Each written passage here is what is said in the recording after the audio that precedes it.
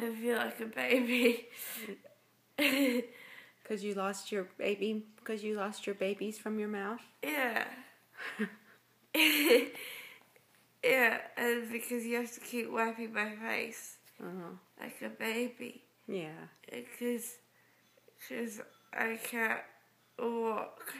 You can't walk. I can't, like, uh, uh, And what happened when they tried to put the needles in? I couldn't find my vein. Oh. And did they tell you that you had to calm down? Yeah, yeah, that's what he said. He said, You're having an anxiety attack. You have to calm down. I was like, Bitch, you should see an anxiety attack. Because what I had was not an anxiety attack. I was just breathing heavily. Because they kept jamming a needle in and it wasn't um, even my vein. Oh. Because he said I had tiny veins. Okay. Bye bye. And it was being mean. Oh.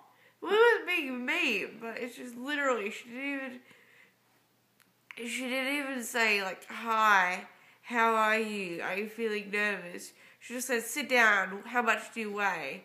I was like, Ugh. I didn't like I didn't like that lady very much. Okay.